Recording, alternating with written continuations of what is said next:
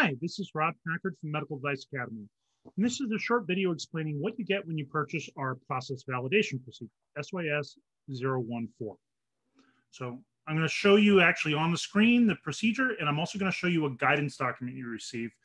Unfortunately, we don't have any templates for you that are already in Word format, but the guidance document we have actually has some templates at the back of it, and the guidance document is in Word format and it's from the Global Harmonization Task Force guidance. So here we go.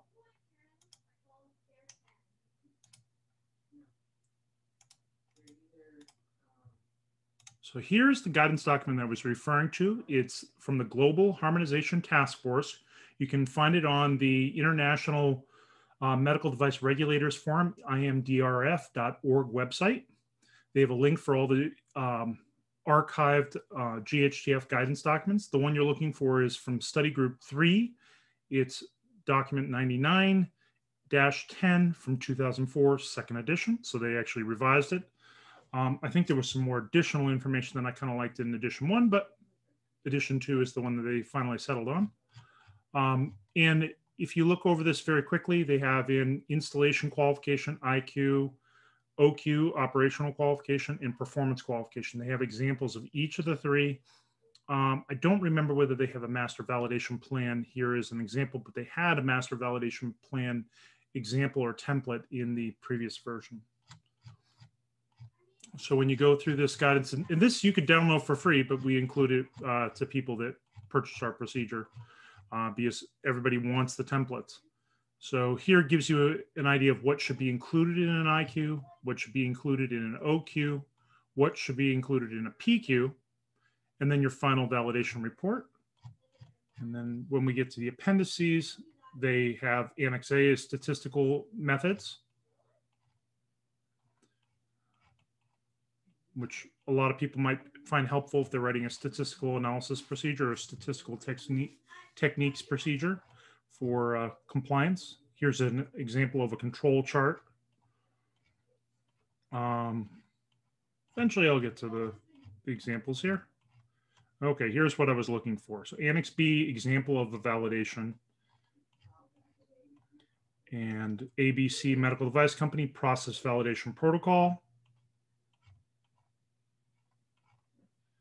And then they have the signature blocks. Here's the IQ, then the OQ, and they even show you the, the uh, run charts they create during it. They give you sample data. And then at the end, you have the PQ, performance qualification. And then finally, they have a final report. So you can actually use this. It's in Word format. You can copy and paste it and edit and use this for your own uh, company's uh, templates that you're going to use for process validation. And then to satisfy the requirement for a procedure for process validation, this is our procedure. It's six pages. It's a process validation procedure, SYS 14. This is uh, draft five in our company. So every time we update our versions, we update the draft number. If you purchase it, first thing you would do is delete the draft, put your own name instead of mine, indicate the effective date that you're approving it. Uh, wherever it says company name, you would replace it with your company name you would indicate in the revision history what the date is and what your document change notice or ECO is.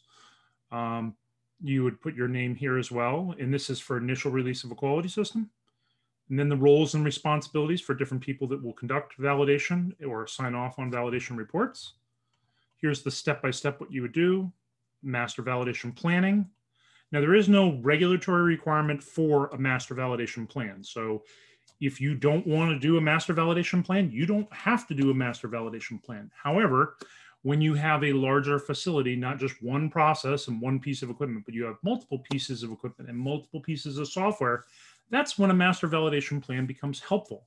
It's just like uh, calibration equipment. You don't need really a calibration system if you have one piece of a calibrated equipment. But if you have multiple pieces, you need a system, and it even helps to have software to manage it all. So if you have multiple pieces of equipment and multiple processes that require validation, it helps to have a plan to indicate these are the protocols, these are the reports, this is the expiration date, this is the equipment it's associated with, and this is when it should be done again next. And that will really help you keep track of all the documentation and find it if you're in the middle of an FDA inspection. Um, then we have the IQ section, the OQ section, and the PQ section. And then finally, a software validation section as well for those of you that are doing software validation for automated equipment that has software, or um, if you're doing software tool validation, so it's a quality system software tool like Dropbox or DocuSign or um, some other software tool, then we have a procedure specifically for that. That's SYS 51. But if you, you're talking about automated equipment, this is the way you would go. And then we have monitoring and measuring of our, our process validation procedure.